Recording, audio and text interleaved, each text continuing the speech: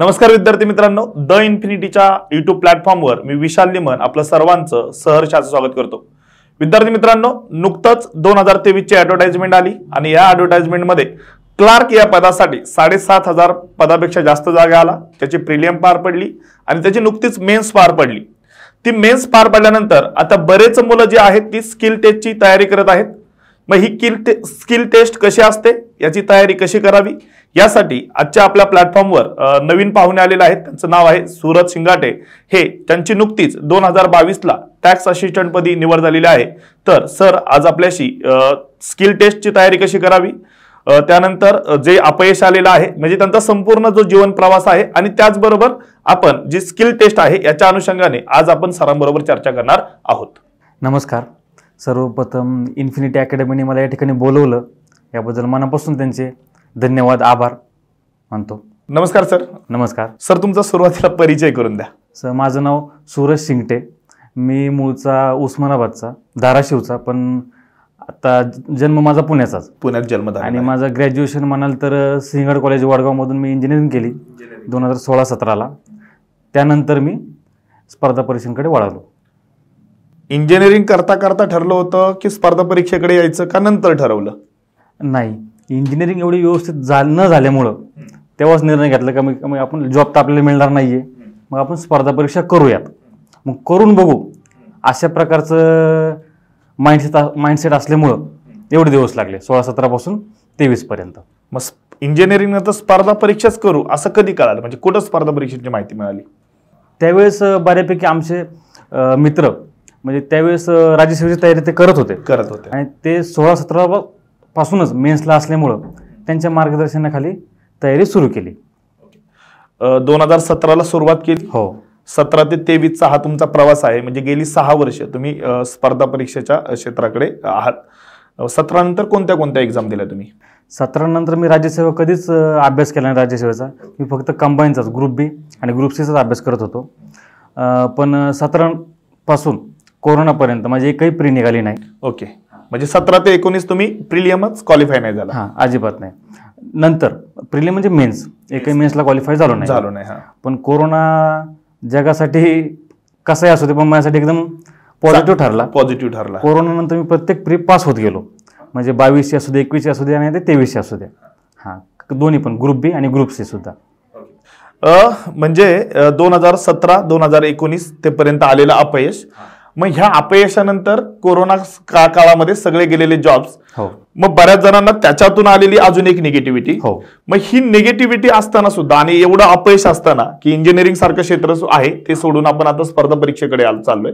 त्यानंतर आपल्याला एकोणीस पर्यंत सक्सेस नाही आणि मध्ये आलेला कोरोना मग त्या काळात अशी कधी निगेटिव्हिटी आली नाही का अभ्यासाबाबतची? निगेटिव्हिटी तर आली तर भरपूर आली खूप. कारण अख्खं जग डिस्टर्ब झालं होतं. त्याप्रमाणे आम्ही डिस्टर्ब झालो होतो.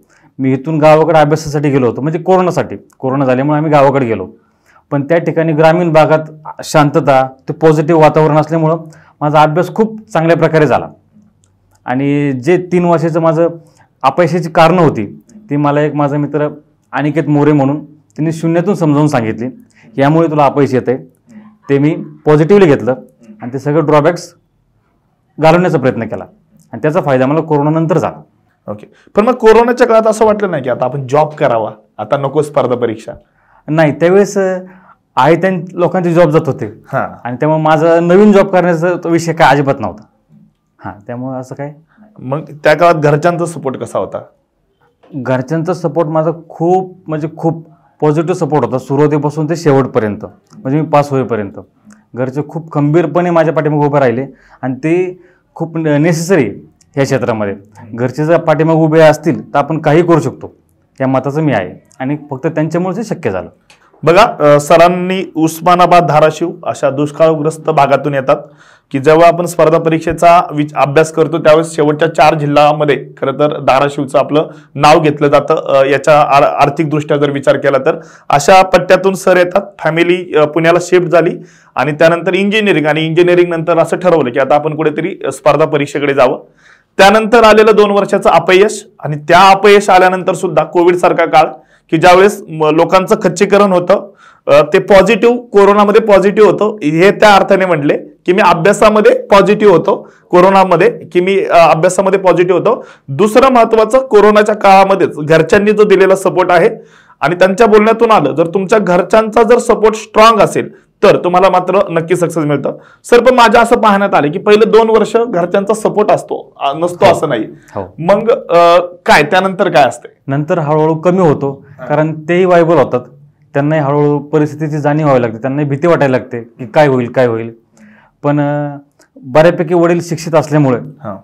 आणि वडील काय करतात? वडील आमचे पी व्ही जे कॉलेजमध्ये प्रॅक्टिकल घेतात. प्रॅक्टिकल हा प्रिंटिंग डिपार्टमेंटमध्ये प्रॅक्टिकल प्रॅक्टिकल घेतात. हा त्यामुळं त्यांना बाहेर समाजाची जाण असल्यामुळे ते बऱ्यापैकी खंबीरपणे माझ्या पाठीमागे उभं होते. हो. म्हणजे घरच्या सपोर्टमुळेच हे आता खरं तर हो. शक्य झालेलं आहे. अ, कोरोनाच्या काळात अभ्यास केला सतरा ते एकोणीसचं अपयश होतं. हो. मग काय अशी सुधारणा झाली की ते पुढे रिझल्ट येत गेला? सर्वप्रथम मी- तुम्हाला सांगितलं अनिकेत मोरे माझा फ्रेंड हा. आहे त्यांनी मला सांगितलं माझं चुकत काय होतं? हा. हिस्ट्रीला चार पाच पुस्तकं. जॉग्रफीला चार पाच पुस्तकं. पुस्तकं. प्रत्येक सब्जेक्टला चार पाच पुस्तकं होती. आणि ते काहीच व्यवस्थित होत नव्हतं. पण त्यानंतर हिस्ट्रीला फक्त मी अकरावीचं पुस्तक state board basic state board आणि तात्या. ह्या दोनच गोष्टी केल्या. पण या दोन गोष्टी अशा केल्या ते फुल स्टॉप सकट मला पाठवतं. Okay okay. मी आता ही अतिशयोक्ती नाहीये. अख्ख्या राज्यात त्या दोन पुस्तकं माझी इतकी चांगली कुणालाच पाठ नसतील. Okay okay. त्या जेवढी माझी प्री पण निघायची हिस्ट्री मला कधीच पंधराच्या खाली मार्क्स पडले नाहीत. म्हणजे एकवीस नंतर. एकवीस नंतर. आणि मेन्स पण. त्याचप्रमाणे भूगोल. भूगोलला फक्त एकच पुस्तक वापरलं दीपस्तंभ प्रकाशनचं. द्विस्तंभ प्रकाश ते पण सुरुवातीपासून शेवटपर्यंत. फुल स्टॉप सकट पाठ केलं. Polity Kolambe sir economics Kolambe sir. Science Kolte sir. आणि करंट आणि मॅथ्स फक्त एक आणि एकच पुस्तक वापरत होतो. जे की मला माझ्या मित्रांनी सांगितलं होतं. आणि त्यामुळं हा फायदा झाला. ओके त्यानंतरच्या प्रिलियम तुम्हाला आणि मेन्स तुम्हाला शंभर टक्के हो. बघा स्पर्धा परीक्षेचा पेपर जो शंभर मार्काचा पेपर असतो त्याच्यामध्ये बेसिकली एक तीस ते चाळीस प्रश्न हे पाठ्यक्रम आधारित आणि हो. अतिशय बेसिक असतात. हो. की जे प्रश्न तुम्हाला त्या काळात अकरा बाराला प्रसिद्ध असलेला तात्याचा ठोकळा हो. तो आजही चालतो. त्यातून तुम्हाला वीस पंचवीस प्रश्न मिळतात. त्यानंतर आता नुकतंच आलेलं अकरावीचं जे पुस्तक आहे की ज्याच्यामध्ये आधुनिक भारताचा प्लस महाराष्ट्राचा इतिहास आहे. तो व्यवस्थित सांगितलेला आहे. म्हणजे सरांच्या बोलण्यातून काय आलं की तुम्ही बाजारात असंख्य पुस्तकं आहेत इतिहासाला चार पाच लेखक आहेत भूगोलाला चार पाच लेखक आहेत तुम्ही कोणत्या तरी एकाच लेखकाला काय करा फॉलो करा त्याच तुम्ही काय करा वारंवार तुम्ही अभ्यास करा हो. त्यातूनच तुमचे जास्त सराव होईल हो. आणि असं कुठेही नाहीये की तुम्हाला शंभर पैकी शंभर मार्क पाडायचे. तुम्हाला एक काठिण्य पातळी दिलेली आहे की ती जर तुम्ही लाईन तोडली तर तुम्ही मेन्सला आणि ती लाईन तोडली तर तुम्ही पुढे सक्सेस पर्यंत जाणार आहोत हो. त्यामुळं लक्षात घ्या की जास्त न वाचता लिमिटेड वाचा आणि ते सतत जर सातत्याने वाचलं तर त्यातून सक्सेस मिळतं. याचा पुरावा याचा जे पुरावा आहे ते सरांकडे आहे. कारण सर सरांची नुकतीच दोन हजार बावीस ला टॅक्स असिस्टंट या पदावर काय झालेली आहे? निवड झालेली आहे. मग त्यानंतर पहिली परीक्षा पहिली प्री आणि पहिली मेन्स क्वालिफाय झाला कोणती? त्यानंतर एस टी आयची जी सहाशे जागाची ऍड होती हा. ती मी पास झालो. आणि त्यासोबतच क्लर्क ग्रुप सीची C ची. Clerk? पास झालो. प्री आणि मेन्स दोन हजार एकवीस ला पास झाला. हो हो. ओके पण सहाशेच्या फायनल सिलेक्शन होऊ शकलं. नाही. एक सात आठ मार्कनी पोस्ट गेली एस टी आयची एस टी आयची त्यावेळेस खरंच खूप मनापासून अभ्यास केला होता. म्हणजे सांगावंसं वाटतं मला. मी धायरीमध्ये जी लायब्ररी आहे आमची तिथे मी रात्री झोपायला लायब्ररीमध्येच असायचो. ओके नाईटला जायचं. नाही नाही दिवसभर. दिवसभर. अभ्यास करून तीन वाजेपर्यंत अभ्यास करायचा. चार पाच सहा झोपायचं. सहा वाजता लायब्ररी उघडायची. मी घरी जाऊन फ्रेश होऊन नऊ वाजेपर्यंत परत माघारी यायचो. माघारी यायचं. एवढा अभ्यास करून सुद्धा एस टी आय फेल झालो मी. एक पाच सात मार्क्सने पण त्याचा फायदा अभ्यास कधी वाया जात नाही. त्यावेळेस एकवीस बावीसचे क्लर्क. ते सुद्धा फेल झालो मेन्स पण त्या अभ्यासाचा फायदा मला ह्या आत्ता जे मी टॅक्स असिस्टंट झालोय त्याला झाला. ओके. हा तो जो रात्रंदिवस अभ्यास केला होता त्याचा फायदा मला या ठिकाणी झाला. रात्रंदिवस हा शब्द तुम्ही वापरला. बरेच मुलं आपण इंटरव्ह्यू मध्ये ऐकतो. तर तुम्हाला काय वाटतं की तुमचं शेड्यूल कसं होतं अभ्यासाचं दिवसभराचं? दिवसभराचं दिवसभर मिनिमम सहा तास अभ्यास करायचाच. ह्या हिशोबाने लायब्ररीत जायचो. मिनिमम सहा तास. पुढे झालं तर ठीक नाही झालं तर अजून ठीक. काही कामं असतात आपलं थोडंफार टाइमपास होतोच इकडे तिकडं. हा. पण सहा तास अभ्यास करायचाच हे माझ्या डोक्यात असायचं जातानाच. मग नऊला जाऊ तीन वाजता माघारी फ्री होतो आपण माणूस. सकाळी सातला जाऊ मग सातच प्लस करून त्यावेळेस फ्री व्हायचो. आणि पुढे अभ्यास झाला तर चांगलीच गोष्ट आहे नाही झालं तर अजून चांगली गोष्ट आहे. ह्या हिशोबाने. सुरुवातीच्या काळामध्ये तुम्ही डेली जर अभ्यासात सातत्य ठेवलं हा. डेली जर सहा तास जरी तुम्ही हो, रेग्युलर हो, केला हो. तरी मनापासून. तुम्हाला मनापासून जरी केला तर तुम्हाला ही एक्झाम क्रॅक होते. तुम्हाला बारा तास अठरा तास. हा एक्झामच्या काळामध्ये मुलं करतात. केलंय, हा एक्झामच्या काळामध्ये करतात.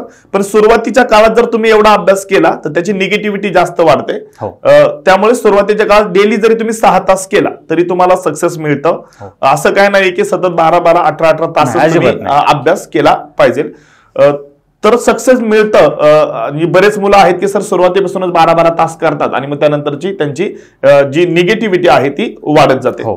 मग तुमची ही टायपिंगची पहिलीच टेस्ट होती का याच्या आधी दिली होती नाही ही माझी पहिलीच टेस्ट होती टायपिंगची टायपिंगची पहिलीच हा. टेस्ट होती दोन हजार बावीसची दोन हजार बावीसची एकवीसची मेन्स क्लार्कची मेन्सच तुम्ही फेल झाले हा. आणि म्हणजे तुम्ही पहिल्याच प्रयत्नात काय झालेला आहात की हो. क्वालिफाय झालेले आहेत हो, हो. बघा स्किल टेस्टची तयारी करणाऱ्यांसाठी हे महत्वाचं आहे की बऱ्याच जणांचा असा समज आहे की ज्यांनी वीस आणि एकवीसची परीक्षा दिली ज्यांनी मेन्स दिली टायपिंग दिली त्यांचं सिलेक्शन बावीसला झालेलं आहे.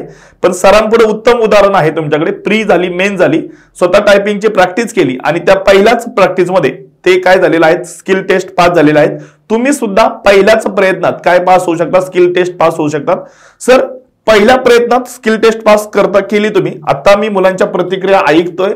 मुलांना स्किल टेस्टची प्रॅक्टिस करताना खूप सारे प्रॉब्लेम आहेत.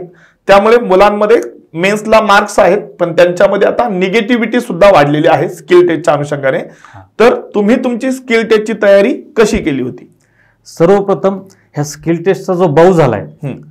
त्याबद्दल मला बोलायला आवडेल. हा बोला. हा. तो बाऊ जुने मुद्दे त्यांनी सांगून. की असं असतं त्या ठिकाणी हे वातावरण असतं एवढी भीती वाटते एवढी अवघड असतं. हे असं अजिबात नाहीये.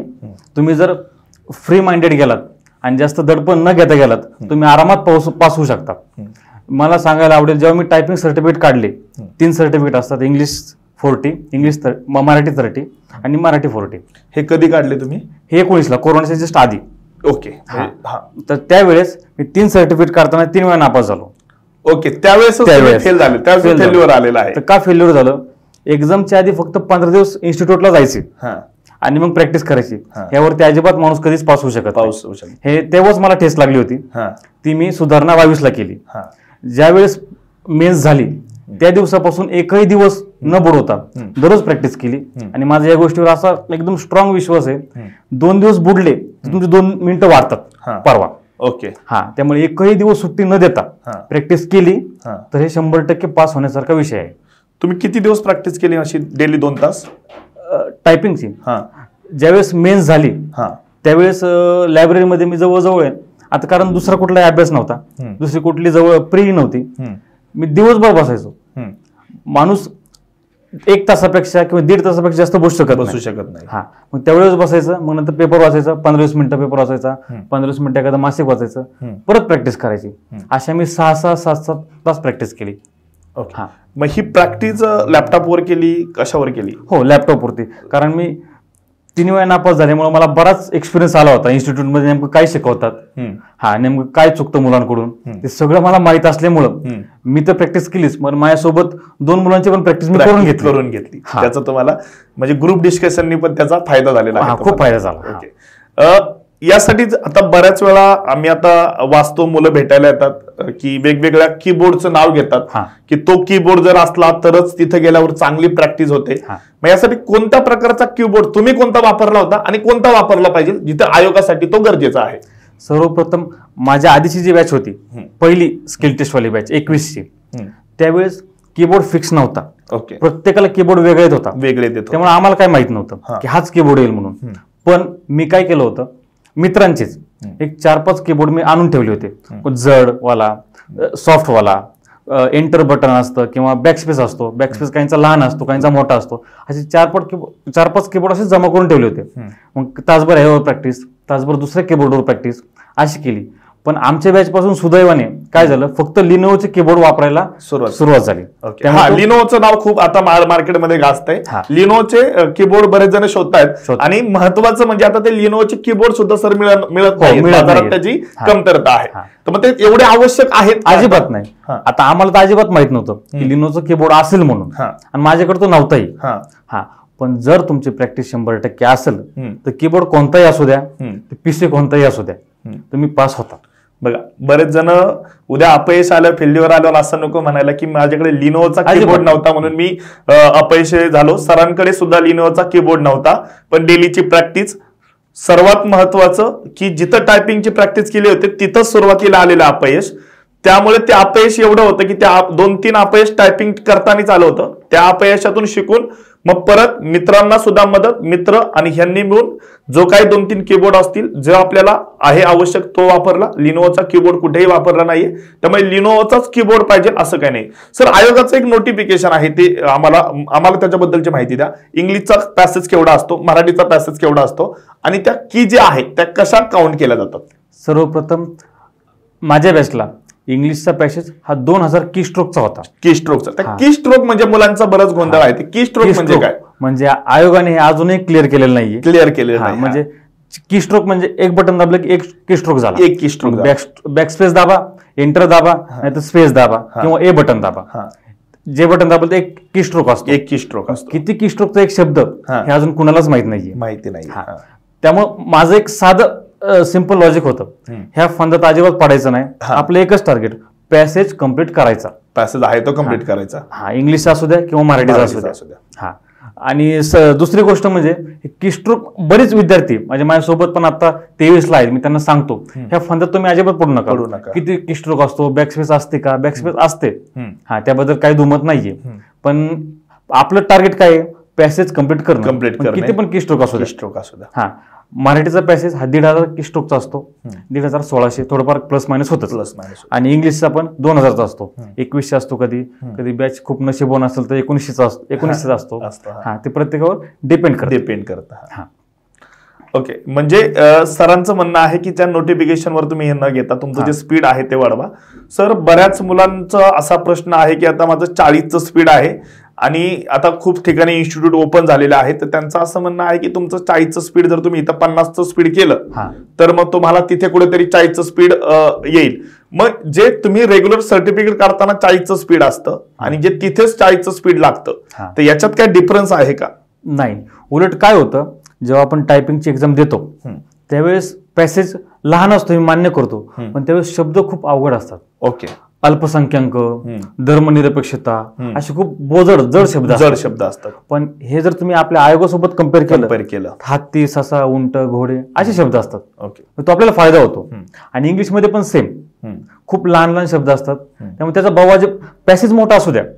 बऱ्याच लोकांचं म्हणणं तेच आहे. की टायपिंग इन्स्टिट्यूटमध्ये जो पॅसेज असतो पॅसेज असतो त्यापेक्षा आयोगाचा पॅसेज मोठा मोठा. असू द्या मोठा.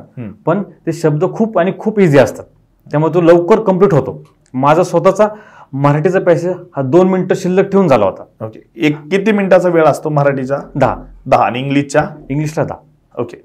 सुरुवातीला जेव्हा टायपिंगची सुरुवात केली मेन्स नंतर हा. तर पहिला टायपिंग करताना स्पीड काय होता तुमचा? स्पीड आता तेव्हा मी असं एक्झॅक्ट मोजला नाही.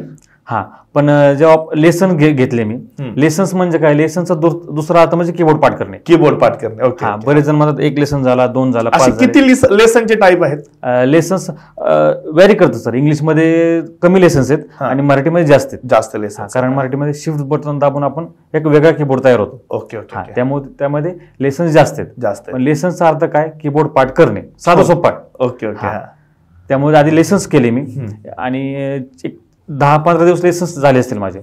त्यानंतर मी सरळ टाईप करायचो. मी काही टाईप करायचो. अख्खा न्यूजपेपर टाईप करायचो. टाईप करायचं हा. हा. नंतर नंतर कधी कधी आपलं पृथ्वी पण परिक्रमा पण टाईप करायचो होतो टाईप करायचं. ओके जेणेकरून अभ्यास पण होत होता अभ्यास आणि हा. टायपिंगचं जे स्पीड आहे ते वाढलं हो. होतं सुरुवातीला किती दिवसानंतर असं स्पीड कमी कमी कमी कमी होत जात आहे स्पीड रिड्यूस होते हा रिड्यूस हा. होत आहे जर तुमचा कीबोर्ड पाठ ते डिपेंड करतं. Depend. तुम्ही कीबोर्ड किती दिवसात पाठ करता? पाठ करता. आता माझे काही मित्र आहेत आठ दिवसात पण कीबोर्ड पाठ केलेत त्यांनी. ओके ओके हा. म्हणजे आठ दिवसात पण कीबोर्ड शंभर टक्के शंभर टक्के. आठ दिवसात पण कीबोर्ड पाठ होऊ शकतो. कीबोर्ड पाठ केल्यानंतर. मिनिमम महिनाभर जर तुम्ही डेली तीन चार तास दोन तीन तास प्रॅक्टिस केली केली. तर तुमचा महिन्याभरातही. एक बऱ्यापैकी स्पीड तुमचा येऊ शकतो. यावर माझे शंभर टक्के विश्वास आहे. ओके मग आता जे नवीन विद्यार्थी आहेत त्यांनी थोडक्यात डेलीचं त्यांचं टायपिंगचं रुटीन कसं असलं पाहिजे? त्यांनी काय केलं पाहिजे? जर तुम्ही आत्ता सुरुवात करत असाल तर लवकरात लवकर कीबोर्ड पाठ करण्याकडे म्हणजे लेसन संपवण्याकडे तुम्ही लक्ष दिलं पाहिजे. लक्ष दिलं पाहिजे हा. आणि ते असं स्टँडर्ड नाहीये की पंधरा दिवस लागतात वीस दिवस लागतात. ते प्रत्येक व्हॅरी होतं तुमच्यावर डिपेंड तुम्ही किती वेळ प्रॅक्टिस करता आणि किती मनापासून प्रॅक्टिस करता आता आपण अभ्यास करताना सुद्धा कधी आपलं मन भरकटलं तर आपल्या लाईन मिस होतात किंवा आपल्या इथे लक्ष राहत नाही. त्याप्रमाणे टाईप करताना सुद्धा मन जर भरकटलं तर शब्द डिस्टर्ब होतो.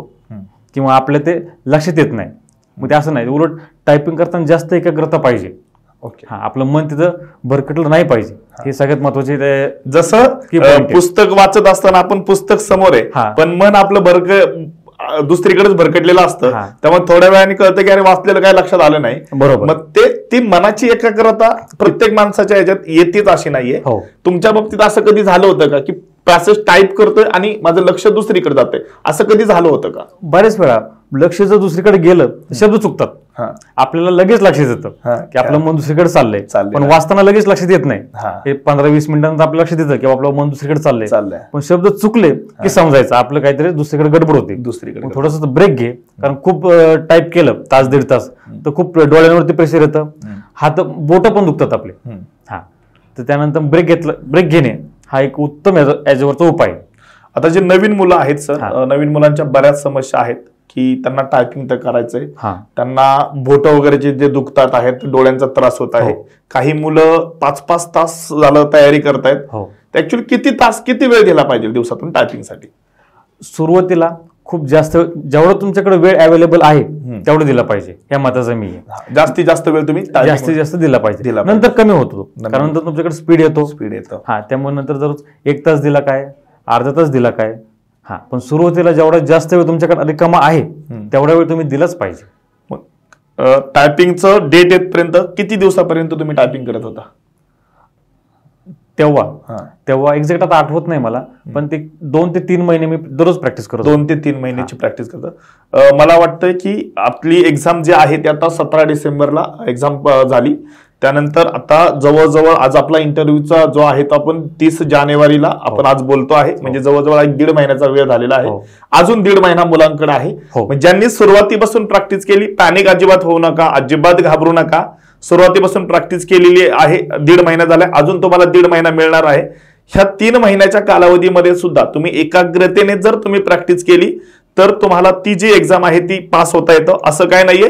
दोन तीन वेळा दिल्यानंतरच मी चौथ्या वेळा पास होतो. सरांनी जी पास केलेली आहे ती पहिल्याच प्रयत्नात त्यांना ती पास झालेली आहेत पुढे त्यांना त्याचं फेल्युअर आलं नाहीये.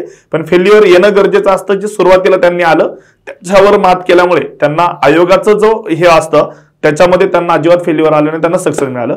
आता इंटरव्ह्यूच्या शेवटाकडे येताना ज्यावेळेस आपण तिथे जाणार आहेत आपण ज्यावेळेस आयोगाच्या Center. सेंटरवर जाणार आहेत तर तिथे म्हणजे तिथली प्रोसेस कशी असते? त्यावेळेस तिथले प्रोसेस काय असते? सर्वात पॉझिटिव्ह पॉईंट जो टायपिंग इन्स्टिट्यूटमध्ये किंवा टायपिंग एक्झाममध्ये सर्टिफिकेट काढताना नसतो तिथे आपल्याला दोन पॅसेज मिळतात. प्रॅक्टिस करण्यासाठी. हात मोकळे करण्यासाठी. आपला कीबोर्ड व्यवस्थित चालतोय का? पीसी मॉनिटर काय तो व्यवस्थित चालतोय का हे बघण्यासाठी. तो खूप आणि खूप पॉझिटिव्ह पॉईंट आहे. कधी जर मग आपण इन्स्टिट्यूटला गेलो आपल्याला डायरेक्ट टाईप करावा लागतो. पण आयोगाने तेवढे खूप आपल्यावरती उपकार केलेत. की दोन त्यांनी पॅसेज दिलेत. पाच एक पॅसेज पाच मिनिटं ब्रेक दुसरा पॅसेज परत पाच मिनिटं break. ब्रेक नंतर आपला फायनल पॅसेज ओके म्हणजे हे सुरुवातीला आहे. तुम्हाला सुरुवातीला डेमो दिला जातो. डेमो हा. म्हणजे डायरेक्ट गेल्या गेल्या तुम्हाला पेसेस टाईप करायचा नाहीये. तुम्हाला तिथं डेमो असणार आहे. आहे. हा. तो डेमो किती मिनिटात असतो? पाच पाच पाच पाच मिनिटाचा डेमो देतो दोन पॅसेज. असतात. मग त्या डेमो मध्ये काय काय चेक करायचं असतं? आपल्याला सगळं कीबोर्ड वगैरे व्यवस्थित आहे? कीबोर्ड व्यवस्थित बॅक स्पेस व्यवस्थित चालतोय चालतोय का? स्पेस व्यवस्थित चालतोय का? आणि बाकी बटन शक्यतो व्यवस्थित चालू असतं आणि आयोग खूप सहकार्य करत होतं. आमच्या आमच्या बॅचला काही जर प्रॉब्लेम असेल तर बिंदास कीबोर्ड चेंज करून देत होते. पीसी चेंज करून देत होते. त्यामुळे अजिबात ते दडपण घेऊ नका. म्हणजे तुम्हालाच खराब कीबोर्ड आला तुम्हालाच खराब. तुम्ही गेल्या गेल्या एक दहा मिनिटाचा वेळ आहे दोन पॅसेज टाईप करतात. त्यावेळेस आपल्याला समजतं की की कोणता प्रेस होतोय का नाही कम्प्युटरचा काय प्रॉब्लेम आहे का हँग होतोय का ह्या गोष्टी आपल्याला कळतात. आणि त्या जरी आपल्या वाट्याला असा खराब कम्प्युटर आला असेल तरी सुद्धा तो कम्प्युटर जो आहे तो तुम्हाला बदलून मिळत असतो. सर जसं एक्झामला गेल्यावर जो हे असतो आपल्याला प्रेशर असतो तसा त्या दिवशीचा तुम्हाला प्रेशर होता का? त्याबद्दल मला खूप सांगावंसं वाटतं. कोरोना नंतर माझी प्री निघण्याचं कारण तेच आहे. तुम्हाला खोटं सांगत नाही मी प्रत्येक प्री मी सातारला दिली कारण मी एकदम शेवटी फॉर्म भरत होतो. पुणे सेंटर संपून जात होतं. आणि मी सातारला. म्हणजे सातारच्या जवळ याच्या मागे काय लॉजिक अजिबात होत नाही. आमला कंटाळा. हा. कंटाळा. आज भरू उद्या भरू. मग शेवटी जागे यायची. हा. मी सातारामधले जवळजवळ पाच ते सात तालुके फिरलेलो आहे. फक्त एक्झामसाठी ओके हा. आणि त्यावेळेस माझं माइंडसेट एकच असायचं. शेवटपर्यंत आता प्रत्येक ते डिपेंड करतं विद्यार्थ्यावरती. शेवटपर्यंत अभ्यास मी कधीच केला नाही. फक्त माइंड एकदम शांत. शांत माइंड जर आपण डिप्रेशन घेतलं. पास झालो नाही तर लग्न पैसे बाकी सगळं मॅटर. ते जर डोक्यात आलं तर माणूस शंभर टक्के फेल होतो या मताचं मी आहे. ओके. परीक्षेचं जर पण जर नापास झालं तर काही नाही. पास झालं तर चांगलंच आहे. आणि नापास झालं तर अजून चांगलं आहे. ह्या हिशोबाने मी कोण ती एक्झाम दिली. म्हणजे कोरोना नंतर आणि एक्झाम सेंटरमध्ये गेल्यावर तेच होतं माझं. जर काही नाही झालं तर काय आपल्याला प्रॉब्लेम नाही. म्हणजे एक्झाम सेंटरमध्ये जर तुमचा माइंड जर फ्रेश असेल तर हा. त्याचा उपयोग तुमच्या रिझल्टवर नक्कीच नक्कीच होता. त्यावेळेस एक मी तुम्हाला उदाहरण सांगू इच्छितो. जेव्हा स्किल टेस्ट देण्यासाठी मी गेलो माझ्या शेजारी एक मुलगी होती. तिला तेरा मार्क्सची लीड होती. ओके. हा. मेन्सला. हा मेन्सला हा. टॅक्सला पण तिच्या सुरुवातीला डेमो देताना तिच्या हाताला असा घाम सुटला. गाम सोडत ती खूप घाबरली. आता आपण सांगण्याचा प्रयत्न केला पण ते आपण तर किती सांगणार? हा आणि ती फेल झाली. म्हणजे तुम्ही डिप्रेशन किंवा अजिबात असं दडपण घेऊ नका. पास झालं तर तुम्ही चांगलंच आहे. नाही झालं तर अजून चांगलं मी तुम्हाला सारखं सारखं सांगतोय. हा तुम्ही मेंटॅलिटी व्यवस्थित बनवा. की हीच एकदम शेवटची नाहीये. हा जर दडपण घेतलं तर माणूस शंभर टक्के फेल होतो. ओके मग तेवीसला पास झाला त्यानंतर सक्सेस मिळाल्यानंतर काय होते रिॲक्शन घरच्यांची बाहेर नातेवाईकांची काय रिॲक्शन होती एकतर अं, बऱ्याच एक पाच ते सात वर्ष लागले या प्रोसेसला. त्यामुळे घरचे आणि खूप खूप आनंदच होते. बाहेरच्यांचा बघण्याचा दृष्टिकोन बदलला. सध्या आपल्या समाजामध्ये एमपीएससी करतोय हम्म. म्हणल्यानंतरच लोक नाका मुरडतात. त्यांना माहिती आहे काय अभ्यास हा अभ्यास करत नाही किंवा खूप वर्ष होते. त्यांना सगळ्या आपल्या समाजाची मानसिकता कळत चालली आता आपल्याला काय चालू आहे समाजात नेमकं. पण आता एकदम पास झाल्यापासून एकदम सगळं व्यवस्थित चालू आहे परत. काही प्रॉब्लेम नाही. मग असं कधी इंजिनिअरिंगच्या नंतर प्लॅन बी नव्हताच काय? आमच्या इंजिनिअरिंगला चाळीस सब्जेक्ट असतात. हा. फर्स्ट सेमपासून लास्ट सेम पर्यंत. त्यातले तेरा सब्जेक्ट मी फक्त फर्स्टमध्ये पास झालो. पास झाला. उरलेले सगळे सब्जेक्ट मला केटी लागली होती. केटी लागली होती. हे आमची- म्हणजे त्याच्यात इंटरेस्टच नव्हता तुम्हाला. इंजिनिअरिंगचं बॅकग्राऊंड होतं आमचं. त्यामुळं त्यावरती जॉब लागायचा अजिबात प्रश्नच नव्हता काय आणि तुम्हाला अजून एक सांगायचं एक थोडंसं मग पॉईंट मिस झाला प्रीसाठी जे आपले चार सब्जेक्ट थोडंसं लेट सांगतोय हा, बोला, बोला. कव्हर झाले चार सब्जेक्ट. आणि जर मेरिट डिसाईड होतं. ते मॅथ्स. करंट. आणि सायन्स वरती या तीन गोष्टी तीन गोष्टींवरती जिथं मुलांना मार्क्स नाही. कारण हे पाच विषयांमध्ये अख्खं राज्य मार्क्स घेतं सगळ्यांना मार्क्स मिळतात marks पण. विषय झाला तीन विषयांचा तीन विषयांचा हा तर मला सायन्स एवढं काही खूप अतिशय छान नव्हतं छान नव्हतं कारण बारावीपासूनच आम्ही टिंगल टावळ्या करत होतो. पण सायन्स मी फक्त आणि फक्त बायोलॉजी केलं होतं आणि व्यवस्थित केलं होतं. आणि कारण बायोलॉजीवर पन्नास टक्के वेटेज असल्यामुळं मी तरुण जायचो. पंधरापैकी निम्मे मार्क्स मला मिळत होते. करंट करंट एकदम आपले एक कोणतंही मासिक वाचलं तरी वाचलं तरी होऊन जातं. पण मॅथ्सच्या बाबतीत मी तुम्हाला खूप सांगू इच्छितो. मी कोरोना नंतर इंजिनिअरिंगचा विद्यार्थी असून सुद्धा अपूर्णांकांचा बेरीज भागाकार गुणाकार हे कोरोना नंतर शिकलो. शिकलो ओके. ही खूप माझी नामुष्की होती. हा मला मॅथ्स येतच नव्हतं. नव्हतं काहीच नव्हतं. म्हणजे अपूर्णांकाचा आता विचार करा गुणाकार भाकर येत नव्हतं तर काळकाम वेग रेल्वे हे गणित कधी येणार? कधी येणार? पण- बेसिकच नाही तर. येऊ आणि मी. इंजिनिअरिंगचा विद्यार्थी. हे एकदम सांगण्यासारखी गोष्ट नाहीये पण मी का सांगतोय? तुम्हाला काही जरी नाही करण्याशिवाय भाग नाही तुम्हाला. ओके तुम्हाला ते जर केलं त्याच्यात जर आणि एक दोन जरी गणिताची जरी भीती असली एक दोन उदाहरणं जम जमली तुम्हाला. त्याच्यात जर तुम्हाला इंटरेस्ट वाढला. तर तुम्हाला मग ते जमत जातं किती अवघड असलं तरी. येस आणि कुणाचंही तुम्ही मार्गदर्शन घ्या. एखादा चांगला मित्र असेल आमचा स्वप्नील मांजरे नावाचा मित्र होता. तिने मला शून्यातून शिकवलं. शून्यातून शिकवलं. हा. पॉइंटचे भाकर कसा करायचा? पॉइंटचा गुणाकार कसा करायचा. इथपासून त्याने शिकवलं. आणि मॅथ्समध्ये मार्क्स मिळाले. तुमची प्रिक्रॅक होती. प्री क्रॅक होती बरोबर. लक्षात घेतलं पाहिजे. बघा सरांशी एवढ्या वेळ आपण चर्चा केल्यानंतर स्पर्धा परीक्षेच्या अनुषंगाने मित्र तुमची मदत करत असतात. अ, कधी पण ऍटिट्यूड ठेवू नका. मित्रांबरोबर संभाषण करत राहा. स्पर्धा परीक्षेमध्ये कोणत्या विद्यार्थ्याकडून काय मिळेल सांगू शकत नाही. आपल्या घरच्यांकडून सुद्धा आपल्याला खूप साऱ्या गोष्टी कळतात. त्यानंतर आपल्या मित्रांकडून कळतात ग्रुप डिस्कशन आपल्याला जर एखादी गोष्ट येत नसेल तर कुठेही घाबरू नका. बिंदास सांगा की मला ही गोष्ट येत नाही. तो मित्राकडून ती समजून घ्या. जेणेकरून तीच गोष्ट तुम्हाला काय असणार आहे? फायद्याचं असणार आहे. सरांच्या प्रत्येक टप्प्यावर मित्रांचीच मदत आहे. पुढे प्रिलियममध्ये फेल्युअर आलं मित्र भेटले. त्यानंतर टायपिंग करताना मित्र भेटले. गणित सोडवायचंय मित्र भेटले. म्हणजे मित्र असे आहेत की जे बाबा जे खरंच आपल्याला सगळेच मित्र सारखे नसतात. काही मित्र असे पण आहेत की जे तुम्हाला मित्रांना मनापासून वाटतं की आपल्या मित्राचं काहीतरी व्हावं. आणि आपण सुद्धा मित्र जरी निगेटिव्ह असला तरी त्याच्याकडच्या ज्या पॉझिटिव्ह गोष्टी आहेत त्या घेण्याचा आपण प्रयत्न केला पाहिजे.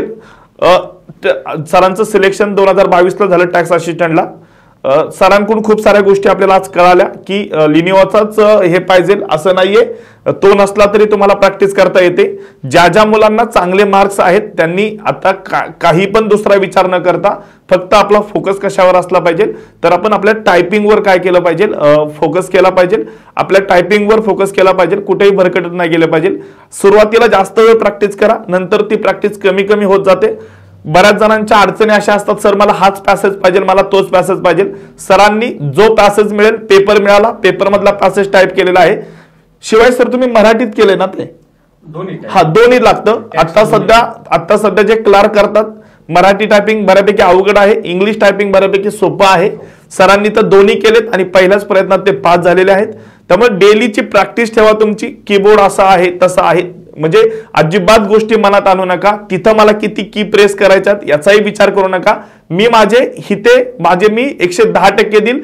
जेणेकरून तिथे मला माझे शंभर टक्के देता येतील. तिथे गेल्यावर सुद्धा सरांनी सांगितलं की एका मुलीचं उदाहरण दिलं. तुम्हाला मेन्सला चांगले मार्क्स असून उपयोग नाहीये. जर तुम्ही ती टेस्ट जर क्वालिफाय नाही झाला तर तुम्ही स्पर्धेच्या बाहेर आहात. त्यामुळे तुम्ही एक उत्तम आहात हुशार आहात प्रिलियम पास झालाय मेन्स पास झालाय. आणि त्यानंतर तुम्ही आता त्या ठिकाणी गेलाय त्यामुळे तुम्ही हुशार आहात.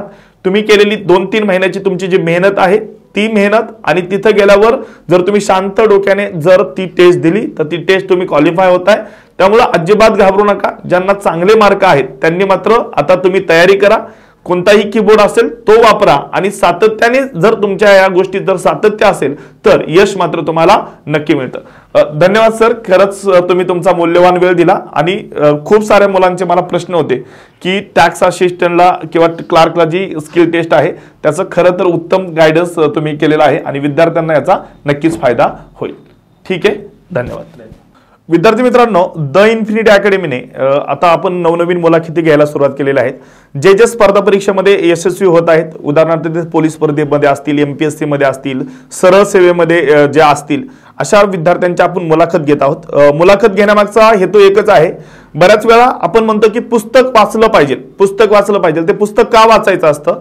की एखाद्या व्यक्तीचं जर आपण आत्मचरित्र जर वाचत असेल तर त्याचा जीवनाचा जो पूर्ण प्रवास आहे तो प्रवास आपल्याला दोन तासात कळतो आणि त्याच्या प्रवासाचा आपल्याला काय मिळत असतो? एक मार्ग मिळत असतो. त्याचप्रमाणे जे काही विद्यार्थी सक्सेस झालेले आहेत त्यांचा जर जीवन प्रवास जर तुम्हाला तीस मिनिटाच्या याच्यातून जर कळत असेल तर तो आपल्याला आपल्या आयुष्याला काय देत असतो? एक कलाटणी देत असतो. त्यामुळे द इन्फिनिटी अकॅडमीने ही जी आमची जी सिरीज आहे अधिकारी असतील किंवा जे गव्हर्नमेंटचे सर्वंट आहेत त्यांची आम्ही एक काय केलेलं आहे ही सिरीज चालू केलेली आहे.